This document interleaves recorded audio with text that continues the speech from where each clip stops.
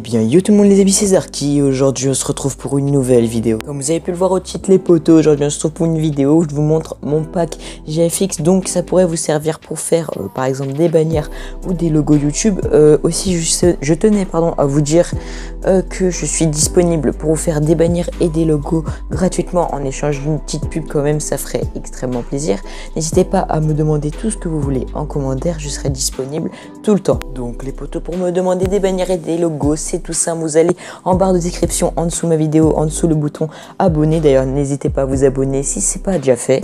Vous allez dans la barre de description les potos et vous allez voir tous mes réseaux. Vous m'ajoutez sur celui qui vous convient le plus. Vous me demandez, je vous enverrai tout ça par Gmail. Bien sûr les potos, je ne fais pas que des logos et des manières, je fais aussi des miniatures euh, à peu près bah, tout ce qu'il y a sur YouTube comme vous le voyez je ne suis pas sur Twitch donc je suis plus sur YouTube. Donc n'hésitez vraiment pas encore une fois à me demander. Je fais aussi des miniatures template euh, des miniatures avec de la brillance etc à peu près tout.